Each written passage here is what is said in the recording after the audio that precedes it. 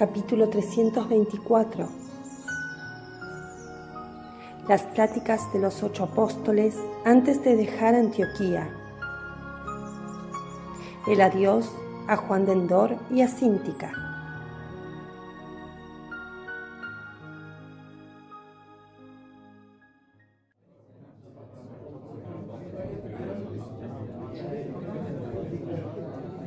Los apóstoles están otra vez en la casa de Antioquía. Con ellos los dos discípulos y todos los hombres de Antigonio, no vestidos ya con túnicas cortas y de trabajo, sino con indumentos largos, festivos.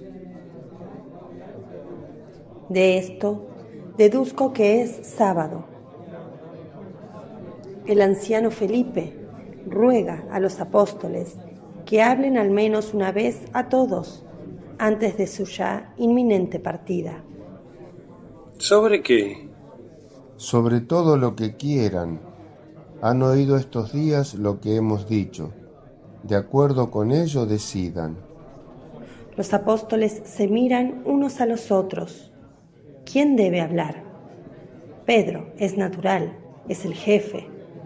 Pero Pedro no quiere hablar y defiere a Santiago de Alfeo o a Juan de Cebedeo el honor de hacerlo. Solo cuando los ve irremovibles se decide a hablar.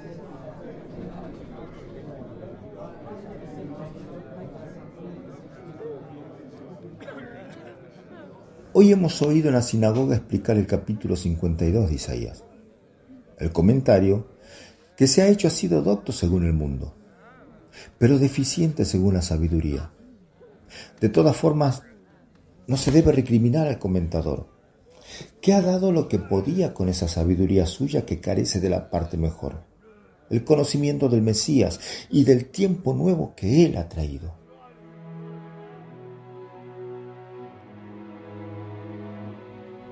No obstante, no hagamos críticas, sino oraciones para que llegue al conocimiento de estas dos gracias y las pueda aceptar sin obstáculo.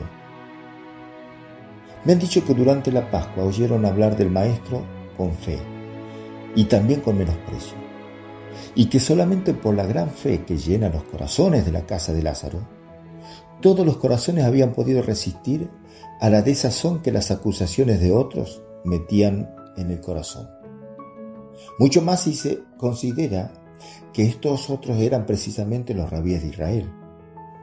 Pero ser doctos no quiere decir ser santo, ni poseer la verdad. La verdad es esta.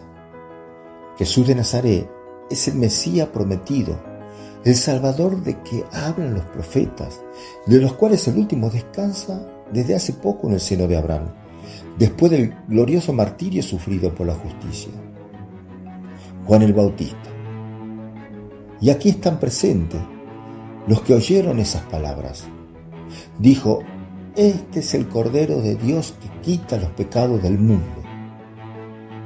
Sus palabras fueron creídas por los más humildes de entre los que se hallaban presentes, porque la humildad ayuda a llegar a la fe, mientras que a los soberbios le es difícil el camino, cargados como están de lastre para llegar a la cima del monte donde vive casta y luminosa la fe. Estos humildes porque tales eran y por haber creído han merecido ser los primeros en el ejército del Señor Jesús. Pueden ver, pues, cuán necesaria es la humildad para tener fe solícita y cuánto es premiado el saber creer incluso cuando las apariencias se presentan contrarias. Los exhorto y estimulo a tener estas dos cualidades en ustedes. Entonces serán del ejército del Señor y conquistarán el reino de los cielos. A ti, Simón Celote, yo he terminado. Continúa tú. El celote, escogido tan al improviso y tan claramente indicado como segundo orador, tiene que salir adelante sin demoras ni quejas y dice,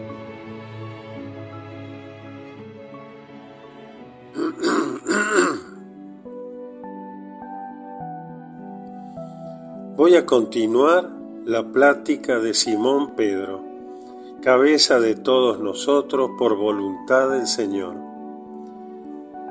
Voy a continuar sin dejar el tema del capítulo 52 de Isaías, visto por uno que conoce la verdad encarnada, de la que es siervo para siempre. Está escrito, levántate, revístete de tu fuerza, oh Sión, vístete de fiesta, ciudad del santo. Así verdaderamente debería ser.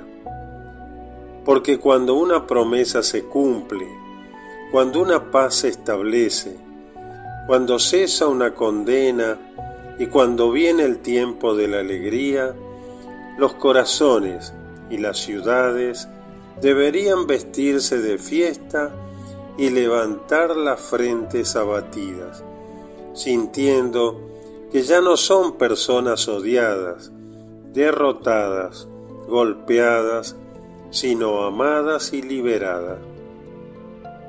No estamos aquí haciendo un proceso a Jerusalén. La caridad primera entre todas las virtudes lo prohíbe.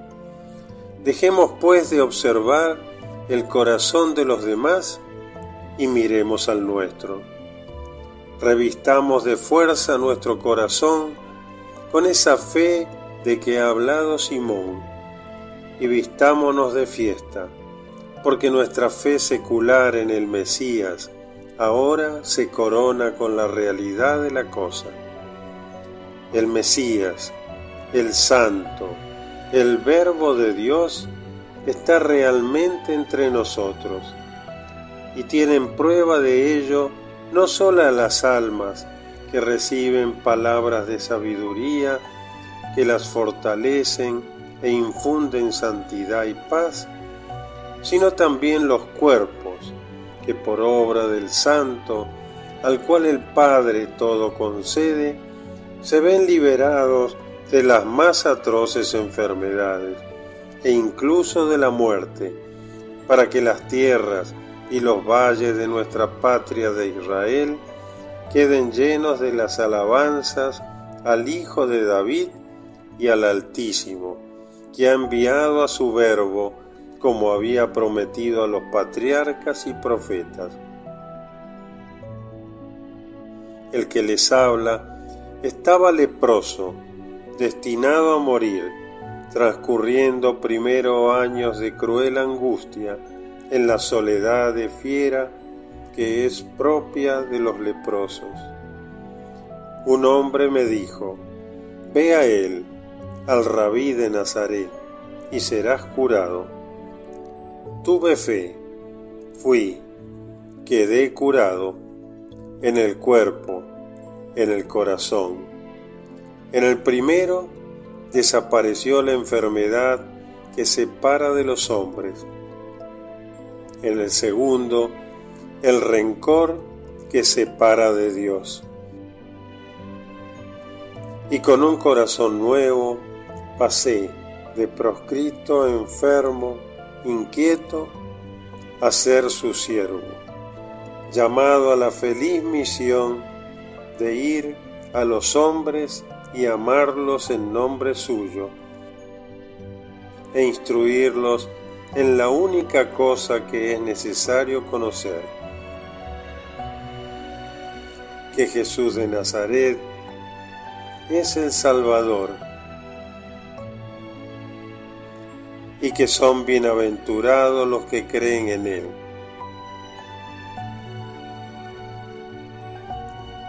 Habla tú ahora, Santiago de Alfeo.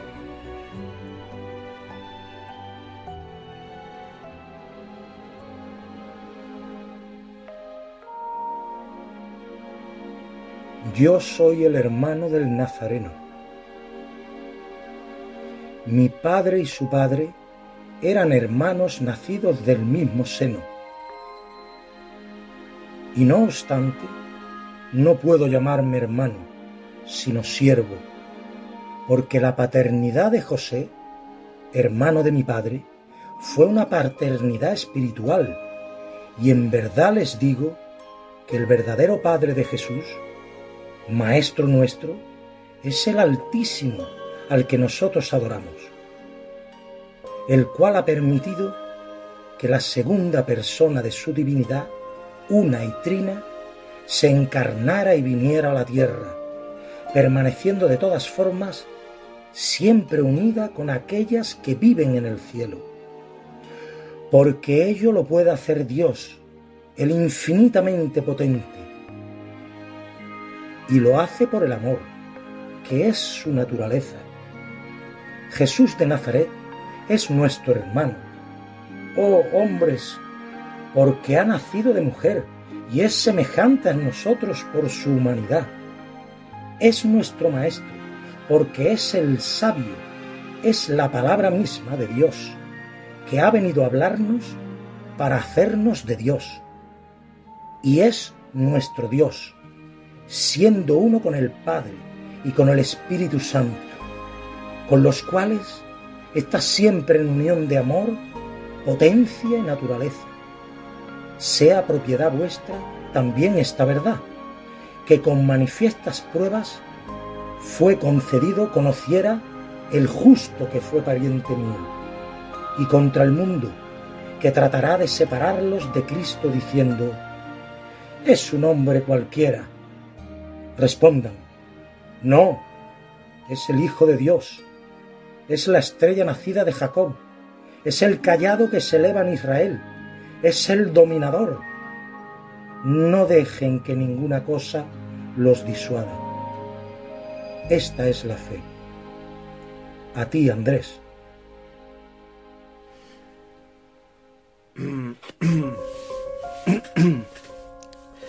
Esta es la fe. Yo soy un pobre pescador del lago de Galilea y en las silenciosas noches de pesca bajo la luz de los astros tenía mudos coloquios conmigo mismo. Decía, ¿cuándo vendrá? ¿Viviré todavía? Faltan todavía muchos años, según la profecía. Para el hombre de vida limitada, unas pocas decenas de años son siglos. Me preguntaba, ¿cómo vendrá? ¿Dónde? ¿De quién? Y mi embotamiento humano me hacía soñar regios esplendores, regias moradas y cortejos y poder e irresistible majestad. Y decía, ¿quién podrá mirar a este gran rey? Lo imaginaba manifestándose en modo más aterrorizador que el propio Jové en el Sinaí. Me decía, los hebreos allí vieron al monte lanzando resplandores pero no quedaron reducidos a cenizas, porque el Eterno estaba más allá de los nimbos, pero aquí nos mirará con ojos mortíferos y moriremos. Era discípulo del Bautista, y en las pausas de la pesca iba donde él, con otros compañeros. Era un día de esta luna las márgenes del Jordán estaban llenas de gente que temblaban al oír las palabras del Bautista. Yo había visto a un joven hermoso y calmo venir hacia nosotros por un sendero. Humilde la túnica, dulce el aspecto, parecía pedir amor y dar amor. Sus ojos azules se posaron un momento en mí y experimenté una cosa que no he vuelto a experimentar jamás. Me pareció como si me acariciaran el alma, como si las alas de ángel me rozaran apenas. Por un momento me sentí tan lejos de la tierra, tan distinto que dije, ahora muero. Es la convocatoria de Dios a mi espíritu. Pero no morí. Me quedé hechizado contemplando al joven desconocido que a su vez había fijado su mirada azul en el Bautista. Y el Bautista se volvió, se apresuró a ir a él, se inclinó ante él, se hablaron. Y dado que la voz de Juan era un trueno continuo, las misteriosas palabras llegaron hasta mí, que estaba escuchando deseando vehemente saber quién era el joven desconocido. Mi alma lo sentía distinto de todos. Decían, yo debería ser bautizado por ti. Deja ahora, conviene cumplir toda justicia.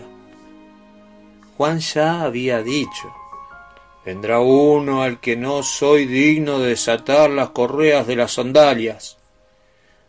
Había dicho ya, en medio de ustedes en Israel hay uno que no conocen. Tienen ya en su mano el aventador y limpiará su era y quemará la paja con el fuego inextinguible. Yo tenía ante mí a un joven común, de aspecto manso y humilde. Y, no obstante, había oído que era aquel a que ni siquiera el santo de Israel, el último profeta, el precursor, era digno de desatarle las sandalias. Había oído que era aquel al que no conocíamos, pero no sentí miedo de él. Es más, cuando Juan, pasado el superestaciante trueno de Dios, pasado el inconcebible esplendor de luz en forma de paloma de paz, dijo, Este es el Cordero de Dios. Yo, con la voz del alma, jubiloso por haber presentido al rey Mesías en el joven manso y humilde de aspecto, grité con la voz del Espíritu. Creo. Por esta fe soy su siervo. Séanlo en ustedes también y tendrán paz. Mateo, a ti el narrar las otras glorias del Señor.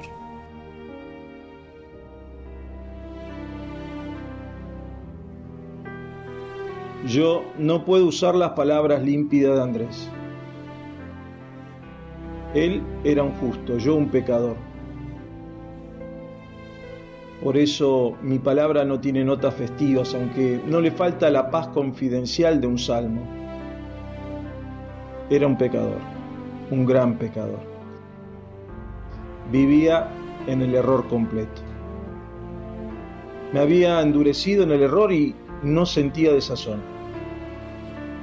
Si alguna vez los fariseos o el arquisinagogo me herían con sus insultos o reprensiones, recordándome al Dios juez implacable, experimentaba un momento de terror. Y luego me rellenaba en la necia idea, total, ya soy un réprobo. Gocemos pues, sentidos míos, mientras podamos hacerlo. Y más que nunca me hundí en el pecado. Hace dos primaveras vino un desconocido a Cafarnaúm. También para mí era un desconocido. Lo era para todos, porque estaba en los comienzos de su misión. Solamente unos pocos hombres lo conocían por lo que él era realmente. Estos que ven y otros pocos. Me asombró su espléndida virilidad, más casta que la castidad de una virgen. Esto fue lo primero que me impresionó. Lo veía con porte grave y a pesar de ello dispuesto a escuchar a los niños que iban a él como las abejas a la flor. Su único entretenimiento eran sus juegos inocentes y sus palabras sin malicia. Luego me impresionó su poder. Hacía milagros. Dije, es un exorcista, un santo. Pero me sentía tan ignominioso a su lado que me apartaba de él. Él me buscaba, esa era mi impresión. No había vez que pasara cerca de mi banco que no me mirase con su mirada dulce y un poco triste. Y cada vez se producía como un sobresalto de la conciencia entorpecida, la cual no volvía ya al mismo nivel del torpor. Un día, la gente magnificaba siempre su palabra, sentí deseo de oírle Escondiéndome detrás de una esquina de una casa, le oí hablar a un pequeño grupo de hombres. Hablaba con sencillez sobre la caridad, que es como indulgencia por nuestros pecados. Desde aquella tarde yo, el exigente y duro de corazón, quise conseguir de Dios el perdón de muchos pecados. Hacía las cosas en secreto, pero él sabía que era yo porque lo sabe todo. Otra vez le oí explicar precisamente el capítulo 52 de Isaías.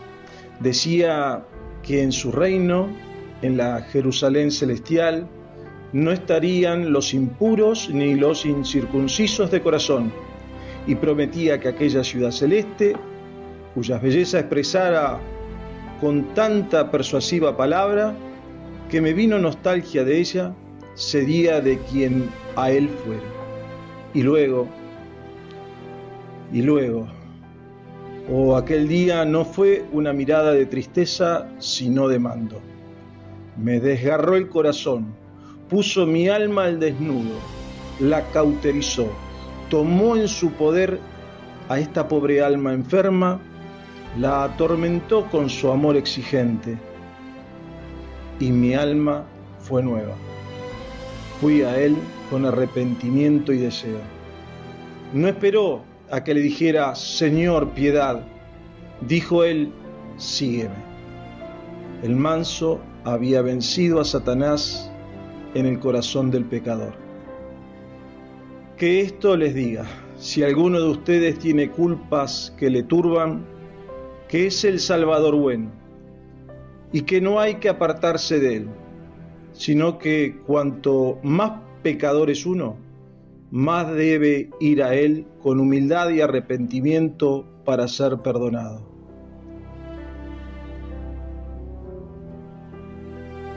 Santiago de Cebedeo, habla tú.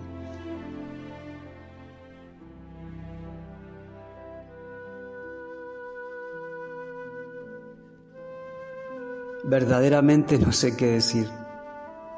Han hablado y dicho lo que yo habría dicho porque la verdad es esta y no puede cambiar. Yo también estaba con Andrés en el Jordán, pero no me di cuenta de él sino cuando me lo indicó la mención del Bautista. Yo también creí inmediatamente. Y cuando se marchó, después de su luminosa manifestación, me quedé como uno al que de una cima llena de sol lo llevan a una oscura cárcel. Sentía un incontenible deseo de volver a encontrar el sol. El mundo carecía totalmente de luz, después de habérseme presentado la luz de Dios y luego haber desaparecido de mi presencia. Estaba solo entre los demás hombres. Mientras comía tenía hambre. Durante el sueño velaba con la parte mejor de mí mismo. Dinero, oficio, afectos, todo había pasado a un segundo lugar respecto a este deseo incontenible de él.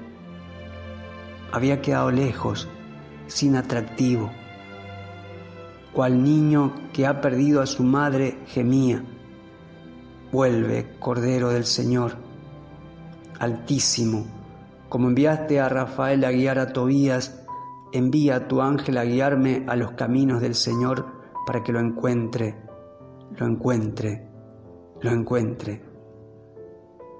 Y a pesar de todo, cuando después de decenas de días de inútil espera y de búsqueda ansiosa, que por su inutilidad nos hacía sentir más cruel la perdida de nuestro Juan, que había sido arrestado por primera vez. Se nos presentó por el sendero viniendo del desierto, no lo reconocí inmediatamente. Llegado a este punto, quiero, hermanos en el Señor, enseñarles otro camino para ir a Él y reconocerlo. Simón de Jonás ha dicho que hace falta fe y humildad para reconocerlo. Simón Celote ha confirmado la absoluta necesidad de la fe para reconocer en Jesús de Nazaret aquel que es, en el cielo y en la tierra, según cuanto ha sido dicho. Simón Celote necesitaba una fe muy grande para esperar incluso para su cuerpo inevitablemente enfermo. Por eso Simón Celote dice que fe y esperanza son los medios para poseer al Hijo de Dios. Santiago, hermano del Señor, habla del poder de la fortaleza para conservarlo hallado. La fortaleza que impide que las insidias del mundo de Satanás socaven nuestra fe. Andrés muestra toda la necesidad de unir a la fe una santa sed de justicia, tratando de conocer y retener la verdad, cualquiera que fuere la boca santa que la anuncie, no por un orgullo humano de ser doctos, sino por el deseo de conocer a Dios. Quien se instruye en las verdades encuentra a Dios. Mateo, que fue pecador, les indica otro camino por el que se alcanza a Dios, despojarse de la sensualidad por espíritu de imitación. Yo diría que por reflejo de Dios, que es pureza infinita. Él, el pecador, se siente impresionado, lo primero por la virilidad casta del desconocido que había ido a Cafarnaún y casi como si ésta tuviera el poder de resucitar su muerta continencia, se veda a sí mismo, lo primero, el sentido carnal, liberando así de obstáculos el camino para la llegada de Dios y para la resurrección de las otras virtudes muertas. De la continencia pasa a la misericordia, de esta a la contrición, de la contrición a la superación de todo sí mismo y a la unión con Dios sígueme, voy. Pero su alma había dicho ya, voy. Y el Salvador había dicho ya, sígueme. Desde la primera vez que la virtud del Maestro había atraído la atención del pecador. Imiten, porque toda experiencia ajena, aunque fuera penosa, es guía para evitar el mal y encontrar el bien en aquellos que tienen buena voluntad. Yo por mí digo que cuanto más se esfuerza el hombre en vivir para el Espíritu, más apto es para reconocer al Señor. Y la vida angélica favorece esto al máximo. Entre nosotros, discípulos de Juan, el que lo reconoció después de la ausencia fue el alma virgen. Él, más incluso que Andrés, lo reconoció, a pesar de, que, que la penitencia hubiera cambiado el rostro del Cordero de Dios. Por eso digo, sean castos para poderlo reconocer. Judas, ¿quieres hablar tú ahora? Sí,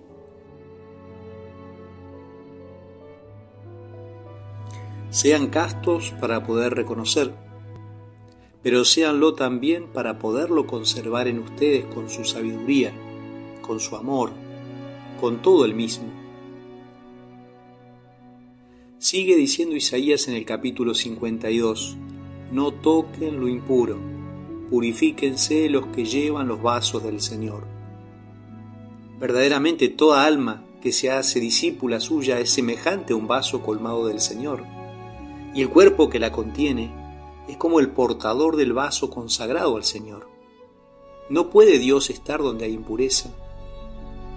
Mateo ha dicho cómo el Señor estaba explicando que nada que fuera impuro o que estuviera separado de Dios habitará en la Jerusalén celeste.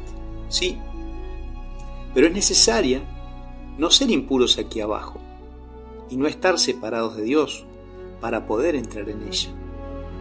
Desdichados aquellos que aplazan a última hora su arrepentimiento. No siempre tendrán tiempo de hacerlo.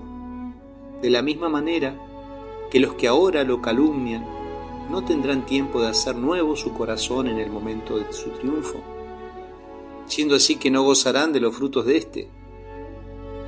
Quienes esperan ver en el Rey Santo y humilde un monarca terreno, y más aún, quienes temen ver en él un monarca terreno, no estarán preparados para aquella hora. Engañados y defraudados su pensamiento, que no es el pensamiento de Dios, sino un pobre pensamiento humano, pecarán cada vez más. La humillación de ser el hombre pesa sobre él. Debemos tener presente esto. Isaías dice que todos nuestros pecados tienen mortificada a la persona divina bajo una apariencia común. Cuando pienso que el verbo de Dios tiene alrededor de sí como una costra sucia toda la miseria de la humanidad desde que éste existe, pienso con profunda compasión y con profunda comprensión en el sufrimiento que debe producirle ello a su alma sin culpa. La repulsa de una persona sana que fuera recubierta con los andrajos y las porquerías de un leproso. Es verdaderamente el traspasado por nuestros pecados, el llagado por todas las concupiscencias del hombre. Su alma que vive entre nosotros debe temblar con los contactos como por escalofrío de fiebre. Y no obstante, no dice nada, no abre la boca para decir me producen horror. La abre solamente para decir, vengan a mí, para que les quite vuestros pecados. Es el Salvador. En su infinita bondad ha querido velar su irresistible belleza. Esa belleza que, si hubiera presentado cual es en el cielo, nos habría reducido a cenizas, como ha dicho Andrés. Esa belleza ahora se ha hecho atractiva, como de manso cordero, para poder acercarse a nosotros y salvarnos. Su opresión, su condena durará hasta que, consumido por el esfuerzo de ser el hombre perfecto en medio de los hombres imperfectos, sea elevado por encima de la multitud de los rescatados en el triunfo de su realeza santa. Dios que conoce la muerte para salvarnos a la vida, que estos pensamientos los hagan amarlo sobre todas las cosas. Él es el santo, yo lo puedo decir, yo con Santiago que he crecido con él, y lo digo y lo diré, dispuesto a dar mi vida para afirmar esta confesión, para que los hombres crean en él y tengan la vida eterna. Juan de Cebedeo, te toca hablar a ti.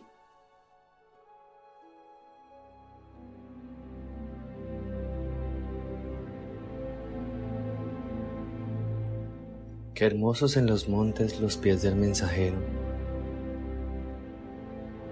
del mensajero de paz, de aquel que anuncia la felicidad y predica la salud, de aquel que dice a Sión, reinará tu Dios, y estos pies van incansables desde hace dos años por los montes de Israel, convocando a las ovejas de la grey de Dios para reunirlas confortando, sanando, perdonando, dando paz, su paz. Verdaderamente me resulta extraño el no ver estremecerse de alegría los montes y exultar las aguas de la patria bajo la caricia de su pie. Pero lo que más me asombra es el no ver a los corazones estremecerse de alegría y exultar diciendo, Gloria al Señor el esperado ha venido. Bendito el que viene en el nombre del Señor. Aquel que derrama gracias y bendiciones, paz y salud, y llama para el reino abriéndonos el camino que a Él conduce. Aquel sobre todo que expira amor de cada una de sus acciones o palabras, de cada mirada, de cada respiro. ¿Qué es este mundo, pues, para estar ciego a la luz que vive en medio de nosotros? ¿Qué losas más espesas que la piedra que cierra las puertas de los sepulcros le muran la vista del alma para no ver esta luz? ¿Qué montañas de pecados tiene encima de sí para estar tan oprimido, separado, cegado, ensordecido, encadenado, paralizado, de forma que permanece pasivo ante el Salvador? ¿Qué es el Salvador? Es la luz fundida con el amor. La boca de mis hermanos ha cantado las alabanzas del Señor, ha recordado sus obras, ha indicado las virtudes que deben practicarse para llegar a su camino. Yo les digo, amén. No hay virtud mayor ni más semejante a su naturaleza. Si aman, practicarán todas las virtudes sin esfuerzo, empezando por la castidad. Y no les será gravoso el ser castos, porque amando a Jesús no amarán a nadie inmoderadamente. Serán humildes porque verán en Él sus infinitas perfecciones con ojos amantes, por lo cual no se ensorbecerán de las vuestras mínimas. Serán creyentes. ¿Quién no cree en aquel a quien ama? Sentirán la contrición del dolor que salva, porque será recto vuestro dolor.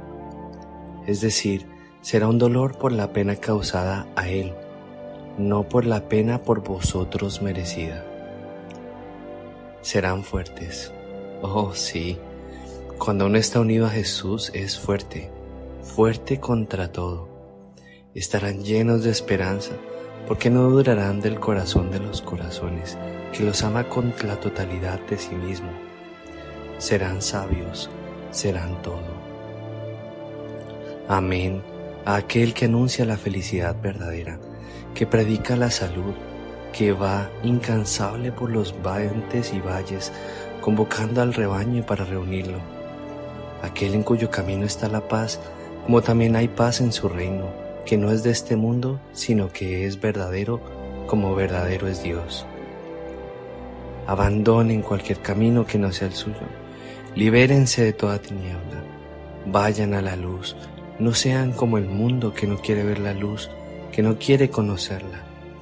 Ustedes vayan a nuestro Padre, que es el Padre de las luces, que es la luz sin medida a través del Hijo, que es la luz del mundo, para gozar de Dios en el abrazo del Paráclito, que es el fulgor de las luces en una sola beatitud de amor, que a los tres se entra en uno. Infinito océano de amor sin tempestades, sin tinieblas, acógenos a todos, a los inocentes y a los convertidos, a todos, en tu paz, a todos, para toda la eternidad, a todos los que habitamos sobre la tierra, para que te amemos a ti, Dios, y al prójimo como tú quieres, a todos en el cielo, para que sigamos amando, siempre no solo a ti y a los celestes habitantes, sino también y todavía a los hermanos que militan en la tierra, en espera de la paz, y cual ángeles de amor los defendamos y apoyemos en las batallas y tentaciones, para que después puedan estar contigo en tu paz, para la gloria eterna del Señor nuestro Jesús Salvador, amador del hombre, hasta el límite sin límite del anonadamiento sublime.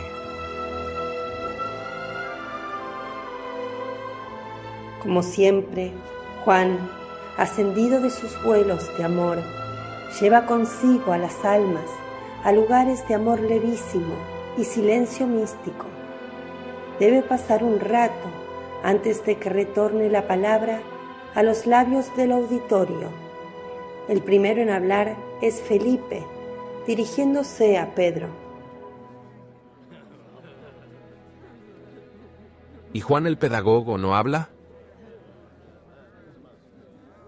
les hablará por nosotros continuamente. Ahora déjenlo en su paz y déjenos también a nosotros un buen rato con él. Tú, Saba, haz lo que te he dicho antes, y tú también, buena veneriza. Salen todos, se quedan en la amplia sala, los ocho con los dos. Hay un silencio grave. Están todos un poco pálidos. Los apóstoles, porque saben lo que está para producirse. Los dos discípulos, porque lo presienten. Pedro abre sus labios, pero encuentra solo esta palabra. Oremos. Y entona el Pater Noster. Padre nuestro, que estás en el cielo, santificado, sea tu nombre Luego, está verdaderamente pálido, quizá más que en el momento de la muerte, yendo a ponerse entre los dos y colocando una mano sobre sus hombros, dice,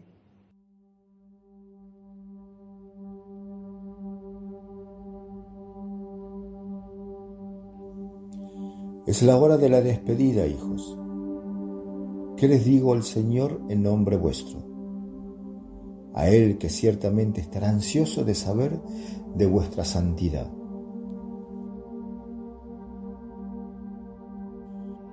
Cíntica cae de rodillas y se cubre el rostro con las manos. Juan la imita. Pedro los tiene a sus pies y mecánicamente los acaricia mientras se muerde los labios para no ceder a la emoción. Juan de Endor alza su acongojado rostro y dice, Dirás al maestro que nosotros hacemos su voluntad.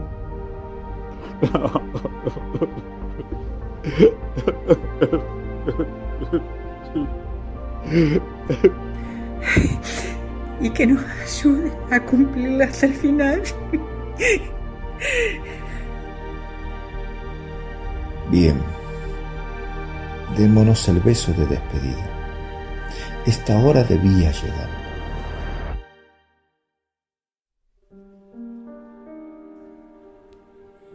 También Pedro se corta ahogado por un nudo de llanto. Antes bendícenos. No, no yo. Mejor uno de los hermanos de Jesús. Judas Tadeo, poniéndose primero de rodillas, dice, No, tú eres el jefe. Nosotros los bendeciremos con el beso. Bendícenos a todos, a nosotros que nos marchamos y a ellos que se quedan. Y Pedro, el pobre Pedro, que ahora está rojo por el esfuerzo de mantener firme la voz y por la emoción de bendecir con las manos extendidas hacia el pequeño núcleo arrodillado a sus pies, pronuncia con voz aún más áspera por el llanto casi de viejo la bendición mosaica. Bendice Padre eterno, que estás en el cielo a tus hijos. Luego se agacha, besa en la frente a la mujer como si fuera una hermana, levanta y abraza, besándolo fuerte a Juan, y se marcha valientemente de la habitación, mientras los otros imitan su acto para con los dos que se quedan. Afuera, el carro está ya preparado. Solo están presentes Felipe y Berenice y el siervo que sujeta el caballo. Pedro ha subido ya al carro. Felipe dice a Pedro y Berenice al celote. Dirás al amo que esté tranquilo respecto de los recomendados. Dirás a María que siento la paz de Oquería desde que ella es discípula. Corren afuera, al camino, los dos discípulos.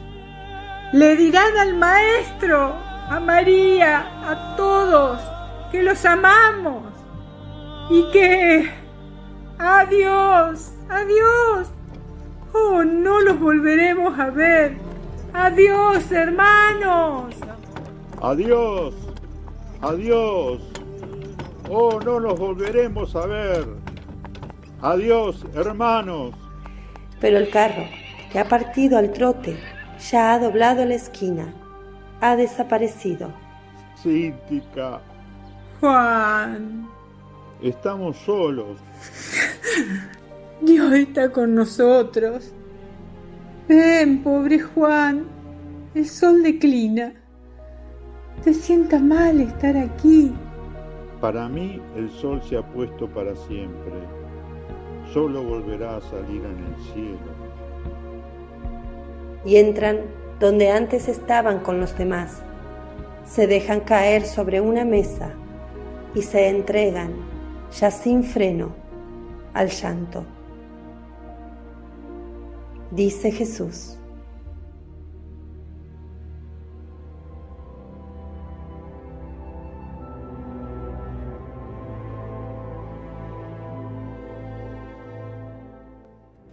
y el tormento causado por un hombre, solo querido por el hombre malo, quedó consumado.